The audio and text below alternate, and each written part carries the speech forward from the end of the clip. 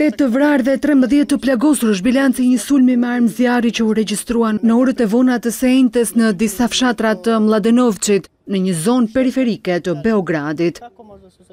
Autori i masakrës raportohet të jetë 21-vjeçari, i identifikuar si Urosh Blazhiç, djali i një oficeri të ushtrisë serbe. Referuar mediave vendase, i riu ka qëlluar me armë automatike pas një debati që ka pasur me një oficer të policisë në Dubona.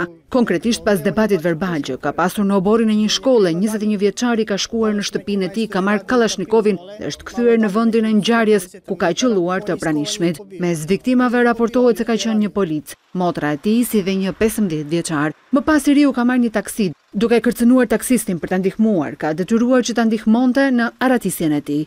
Teksa po udhëtonte me automjetin ai po qëllonte me armë në zonat përreth. Pas krimit, autori u largua i armatosur dhe gjashtëqind forca të Policisë Speciale e kanë kërkuar gjatë gjithë natës. Vetëm në mëngjes njëzet e një vjeçari nga Mladenovci është vënë në pranga në shtëpinë e gjyshit të tij, vetëm disa kilometra larg nga vendngjarja.